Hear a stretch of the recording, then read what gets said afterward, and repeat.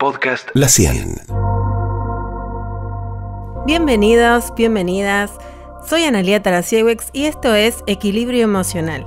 Hoy vamos a hablar de un tema súper interesante que es el agotamiento y el estrés en este último tramo del año y vamos a hablar de cómo prevenir el burnout. Equilibrio emocional. A medida que nos acercamos a fin de año, el agotamiento laboral empieza a ser más relevante en nuestra vida. Empezamos a sentirnos más cansados, más quemados por el trabajo y por nuestras todas las reuniones que tenemos, todo nuestro mundo social se altera y empezamos a sentir esta frase de estar quemados como una frase que describe a la perfección esta sensación que sentimos, estos síntomas que empezamos a sentir. Entonces, tendríamos que pensar en la sobrecarga de trabajo que recibimos durante todo este último tramo, durante todo el año, la presión que tuvimos por cumplir los plazos eh, que ahora en, esta, en este periodo se ajustan aún más. Después, bueno, si venimos en una, trabajando en una organización que tiene un mal ambiente laboral, eh, si hay problemas de liderazgo en nuestros equipos de trabajo, si hay mala comunicación entre un jefe, entre un líder, y si incluso la definición del rol y las tareas que yo tengo, si por ahí no están claras y eso hace que eh, por ahí no sepas bien qué tenés que hacer, hasta dónde son los límites de tu rol, eh, cuáles son tus funciones reales y bueno, y todo eso va generando un estrés que si esto se empieza a cronificar y si los picos de estrés son cada vez más altos, bueno, hacen que uno pueda llegar a un burnout. No necesariamente todos estamos eh, con, este diagnóstico ni tampoco tenemos este síndrome, pero sí podemos empezar a pensar cuáles son los niveles de agotamiento que estamos teniendo, cuáles son los niveles de estrés que estamos llevando en nuestro día a día y pensar un poco, bueno, ahora que es fin de año, podemos empezar a eh, pensar cómo podemos... Em, reflexionar en cómo tratamos nuestro cuerpo, dónde estamos trabajando, cuáles son nuestras elecciones, qué nos está pasando, qué nos pasa en la psiquis, en el corazón, en el cuerpo, qué nos pasa con las personas con las que nos rodeamos. Y si esto que estamos viendo en, en nuestro resultado tiene que ver con el síndrome del burnout que la Organización Mundial de la Salud lo definió, lo tomó de un autor que se llama Maslach y lo definió como el, el, resultado del estrés crónico en un lugar de trabajo que no se ha manejado con éxito. ¿Y esto qué quiere decir? Que tendríamos que pensar qué significa esto de no manejarse con éxito. ¿Quiénes deben manejar este estrés? Entonces yo pensaba y decía, bueno, pensemos a nivel eh, laboral, a nivel personal, a nivel todos los niveles que uno quiera eh, evaluar. Y es muy interesante porque uno puede decir, bueno, ¿por qué me estreso? ¿No? Me estreso realmente porque hay una temática dentro de la organización, tiene que ver con lo que me pasa ahí dentro, tiene que ver con la cultura, con el liderazgo, con mis compañeros, con las tareas, con todo lo que estuvimos diciendo, o tiene que ver también con mi propia percepción del trabajo, cómo yo concibo al trabajo. Porque a veces pasa que uno tiene una crianza, un modelo mental, una forma de ver el trabajo. Por ejemplo, si te criaste bajo el lema del sacrificio, es muy probable que te estreses más, ¿no? Porque ante una situación de mayor vulnerabilidad del contexto, una situación que haya, no sé, que haya un nuevo jefe, que un compañero ascienda o que echen a otra persona, eso va a hacer que por ahí cuando vos tenés un, modelo mental más alineado a, a un mandato, al sacrificio, a que todo es más difícil, a estas cosas que uno se dice, a que vos no vas a pertenecer o que a vos no te va a salir todas esas cosas que uno se va diciendo y que elevan nuestras emociones, elevan eh, nuestra ansiedad, elevan nuestro estrés y a veces también hacen que lleguemos a tener estos trastornos, lleguemos a tener estos niveles tan elevados eh, que hacen que uno, bueno, entre en un síndrome de burnout, en un trastorno como este. Hace poco eh, salió una encuesta en, en Boomerang que habla de que los argentinos están en un ranking del 94%, o sea, de todos estos encuestados, el 94% dice sufrir eh, agotamiento en, el mundo laboral y esto hace que eh, Argentina esté dentro del puesto número uno dentro de la región de estos encuestados, siguiéndole también eh, Chile, Ecuador, Panamá, Perú, con menor porcentaje, pero también alto, 77, 86, ¿no? Son todos altos, o sea que la región es una región que padece mucho el estrés crónico y muchas personas se sienten quemadas. Entonces es súper importante entender que estas estadísticas muestran como esta clara expresión de que algo tiene que cambiar, algo tiene que pasar dentro de las organizaciones, dentro de las políticas de trabajo, dentro de nuestra propia vida, para que podamos empezar a entender el trabajo desde otro lugar y poder empezar a elegir determinadas estrategias que puedan hacer que no enfermemos. Porque ir a trabajar no es sinónimo de enfermar, pero bueno, actualmente cada vez empieza a, sintomatizar más las personas, los trabajadores, las trabajadoras, porque necesitan que las organizaciones tengan mayores, em, mayor, tener mayor en cuenta que la salud mental no es algo que se tiene que em, evadir que es algo que tiene que tratarse, que tiene que tener programas, que las personas tienen que trabajar con sus equipos de trabajo, con sus eh, con sus líderes, con recursos humanos, con el área de people care, con como quieran llamarlo, tiene que haber un área de contención donde se puedan abordar. Desde una persona que dice, hoy no me siento bien, estoy estresada, esto no me está haciendo bien, o me pasó tal cosa en casa, eh, o siento un desequilibrio emocional, o hoy estoy muy triste, o incluso cuando eh, tenemos algún desequilibrio hormonal, eh, que que nos pasa, ¿no? Nos pasa en el día a día. A veces tenemos otras enfermedades de base o simplemente eh, es, un, es, un, mes en el que no, nos sentimos tan cómodas con, nuestra menstruación. O sea, hay un montón de temas que, que hacen que estos desequilibrios y estas sensaciones se eleven, muchos temas hormonales también, y hacen que uno por ahí tenga más elevada o, más o mayor vulnerabilidad que hace que uno pueda estresarse más ante una determinada situación. Pero ¿qué pasa? Cuando este estrés es crónico y no podemos acceder a ningún tipo de ayuda, a ningún programa, nadie nos escucha o no tenemos las herramientas propias para poder resignificar esto que me pasa. O vivo también en un ambiente donde, eh, no sé, me llevo mal con mi pareja o con mi familia o hay algo que no está funcionando. Bueno, hay que tomar cartas en el asunto porque si no, esto puede terminar en... Eh, en estos síndromes como el de que estamos hablando hoy. Pero ¿qué pasa em, en, este, en este síndrome en particular? ¿Cómo podemos darnos cuenta que está pasándole a alguien eh, en mi entorno o que te está pasando a vos? Entonces, por un lado vamos a pensar que cómo me estoy quemando en el trabajo. Bueno, por un lado vas a sentir el agotamiento mental número uno. ¿No? Esto va a afectar tu vida, tu trabajo, te vas a sentir muy cansado, muy cansada, vas a sentir a nivel físico que tenés insomnio, dolor de cabeza, tenés mayor tensión muscular, ¿no? Y, eh, como que todo se empieza a poner como más extremo.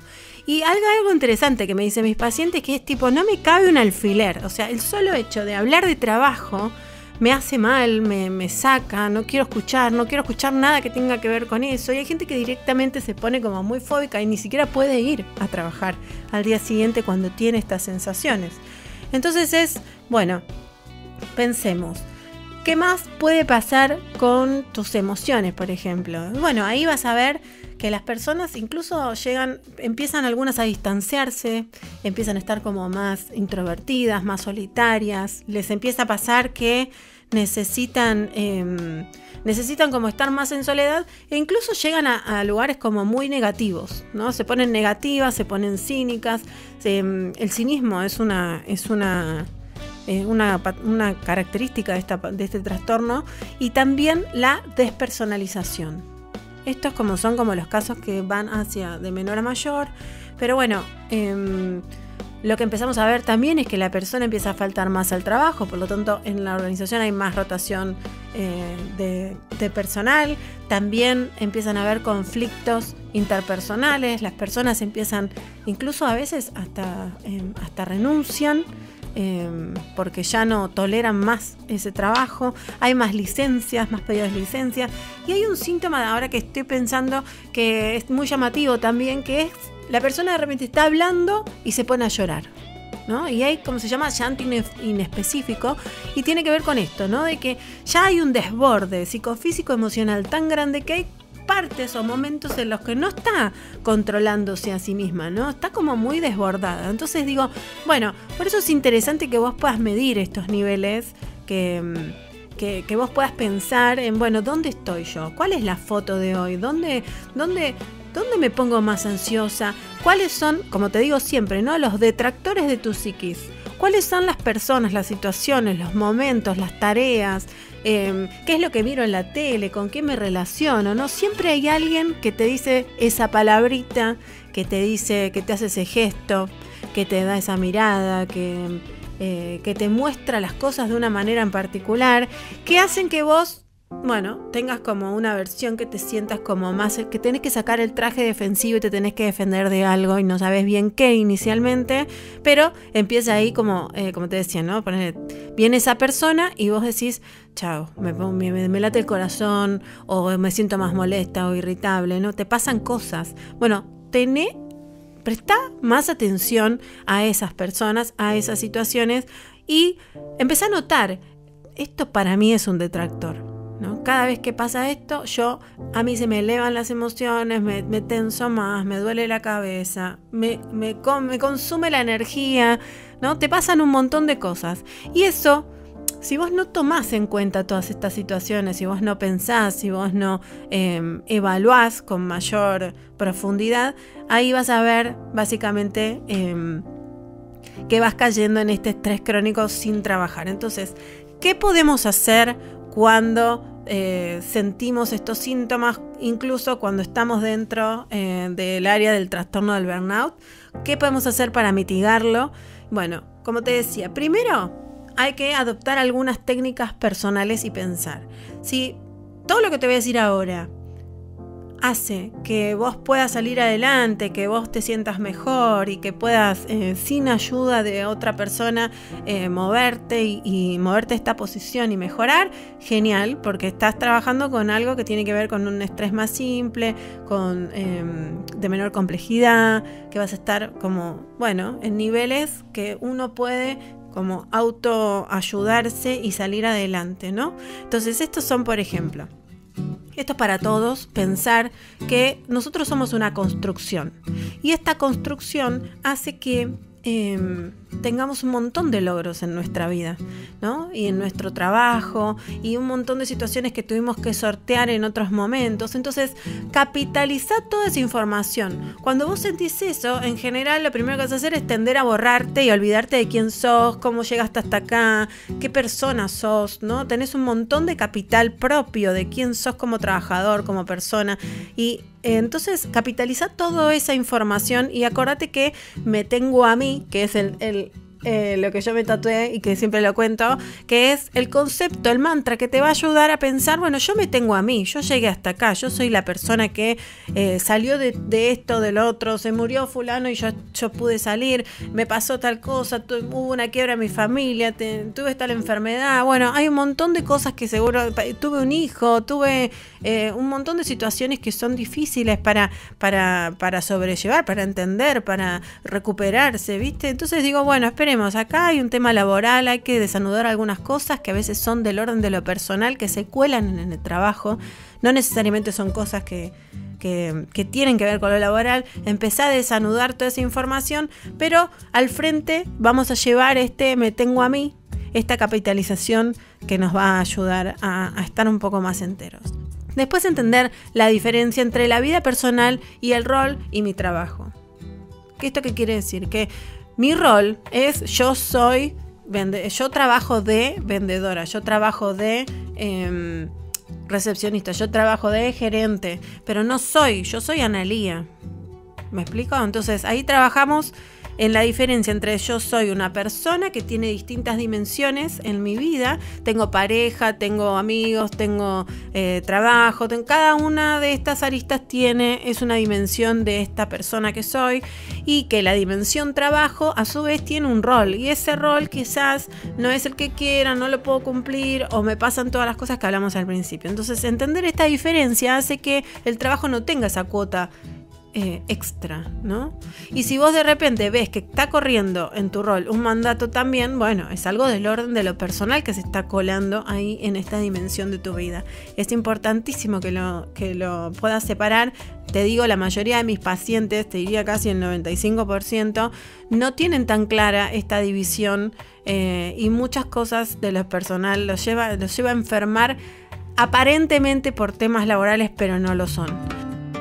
Así que bueno, em, por otro lado, está bueno que vos puedas aprender a decir no y establecer esos límites sanos en tu carga de trabajo, en los compromisos personales, sobre todo en estas épocas, y no exigirte demasiado, porque eso hace que em, probablemente tengas como una, em, como una sobrecarga que después no puedas manejar y después el cuerpo te pasa facturas. O sea, el cuerpo es peor que la FIP.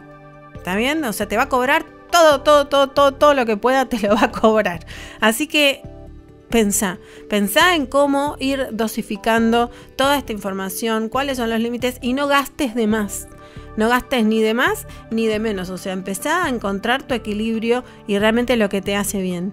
Y por otro lado, vamos a pensar en planificar y organizar lo más que puedas, porque en realidad en la vida, bueno, uno se necesita organizar y planificar para que este Tetris, las personas que tienen como mucha información y tienen muchas cosas para hacer, necesitan un orden, necesitan una planificación básica para poder anticiparse, para que no aparezca este, eh, la procrastinación y que no aparezcan eh, estos momentos de alta desmotivación, ¿no? sino que uno, bueno, pueda anticiparse lo más posible y ver cuáles son las prioridades de esta semana, de este día, de esta hora, ¿no? Poder un poco organizar y tener bien claro cuáles son los momentos de ocio y que vas a estar tranquila en el sillón mirando una peli o tomándote un juguito tranquilo, tirado en el silloncito y no haciendo nada, ¿no? O sea, o saliendo a, tomar un poco de aire y conectarte con la naturaleza, con tu familia, con tus hijos, con tus amigos, etc. Entonces, bueno, planificar y organizar también de manera... Eh, como lógica, ¿no? O sea, tampoco dejar todo planificado y todo organizado porque tampoco va a funcionar. Después podemos pensar en tomarse algunos descansos regulares, ¿no? Que eso te va a permitir también hacer estos cortes y sobre todo mantener una comunicación abierta con los tuyos, con las personas con las que trabajas, con tus líderes y ahí podés como pensar en esta combinación de, bueno, cómo me expreso, qué digo, viste, no te quedes con estas sensaciones, trata de compartirlas porque eso te va a hacer bien, incluso otros te pueden dar buenas ideas eh, para poder salir adelante en, esta, en, esta, en este momento medio crítico que uno siente eh, de tanto caos interno. Después, bueno, presta atención a tu cuidado personal, ¿no? Empezá a pensar em, qué, estás haciendo por tu salud. Si estás comiendo bien, si estás durmiendo, si estás, em, si estás encontrando ese momento para ir al médico, para chequearte, para hacerte chequeos más profundos que rutinas básicas. Así que bueno, eso es súper importante. Y bueno, y como te decía, apoyo social, ¿no? O sea, mantener una red de contención cuando estamos mal, encontrar a esa persona que siempre, viste, te va a bancar y te va a ayudar, te va a guiar. Em, y si con todo esto de base, ¿no? Y vas practicando toda esta información de base, no te sentís bien, no podés, no mejorás, bueno, es momento de buscar ayuda profesional, es momento de que puedas em, empezar a trabajar con alguien que pueda seguirte, alguien que pueda liderar este, este tratamiento y que puedas a veces, bueno, uno tiene que empezar por, un coach, por un psicólogo, em, pero si son temas laborales, busca profesionales especializados en el área trabajo porque te van a entender y sobre todo eh, personas que tengan el know-how eh, de la psicología y del mundo laboral. Eh, y por otro lado, bueno, si necesitas también trabajar con un psiquiatra de cabecera para que pueda, em, bueno, ayudar y trabajar en equipo con eh, tu psicólogo especialista. Bueno, muchísimas gracias por llegar hasta acá. Nosotros estamos aquí en este ciclo de podcast Equilibrio Emocional, aportando nuestro granito de arena. Así que bueno, si te gustó, si conoces a alguien que eh, pueda estar pasando por esto, compartí, dale like, lo que vos quieras. Bueno, te deseamos un buen fin de año y un excelente comienzo para este próximo que comienza. Un saludo y hasta luego. Podcast La 100.